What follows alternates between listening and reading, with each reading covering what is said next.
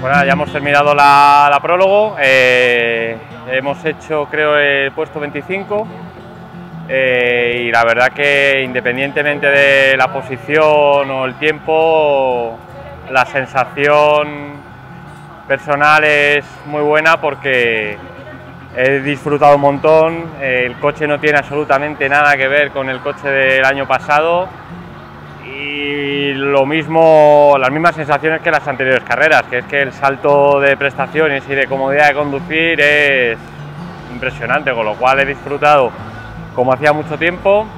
También hay que tener en cuenta que cuando hemos salido nosotros ya la pista está totalmente destrozada. Hayan pasado todas las motos, hayan pasado casi todos los coches, con lo cual había unas roderas tremendas, ¿no?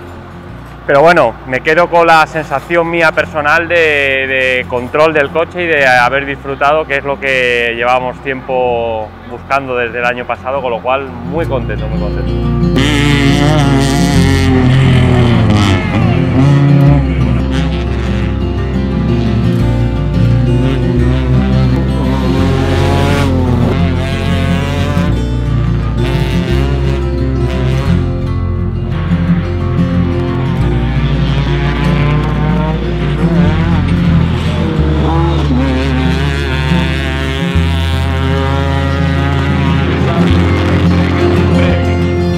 Mañana realmente es una carrera totalmente diferente a la del año pasado, va a estar el terreno totalmente seco, eh, hay posibilidad que haya polvo de los pilotos que nos preceden, entonces bueno, pues habrá que salir con un poco de cautela al tramo de la mañana de 200 kilómetros, ver cómo se va desarrollando la, la carrera y luego en el tramo de la tarde de 250 analizar un poco qué es lo que hemos visto y dónde estamos en el tramo de la mañana y ahí tomar las decisiones oportunas de ver dónde estamos y hasta dónde podemos llegar con, con nuestro coche, ¿no? Pero vamos, ante todo tranquilidad porque el, en la lista de deberes el primero siempre es terminar y llevar el coche a la meta, con lo cual a partir de ahí pues iremos viendo.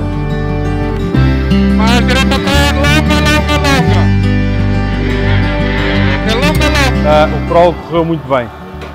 O carro está muito melhor do que o ano passado. As diferenças que se notaram foram bastante significativas. Uh, o Kika sente-se muito mais à vontade a conduzir, domina muito melhor o carro. Foi pena que já apanhámos a pista muito uh, estragada, já com muitos chuvos e não pudemos fazer um tempo melhor, mas estamos contentes. Amanhã é que vai ser a corrida.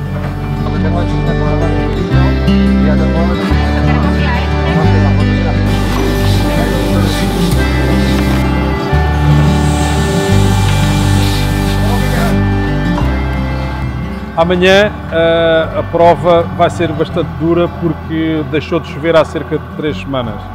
Uh, até aí choveu, o terreno ficou muito macio, os carros que passaram para as propriedades, os tratores, abriram sulcos, secaram e que agora há grandes buracos e portanto temos que passar com uma certa cautela e com, com calma.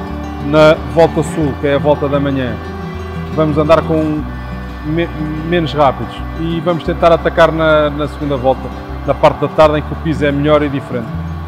Mas uh, vamos tentar entrar para os 10 primeiros. É o nosso objetivo.